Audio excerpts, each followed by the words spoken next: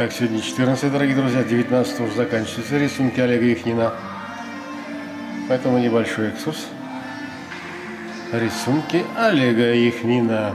Дорогие друзья, он нам представлен.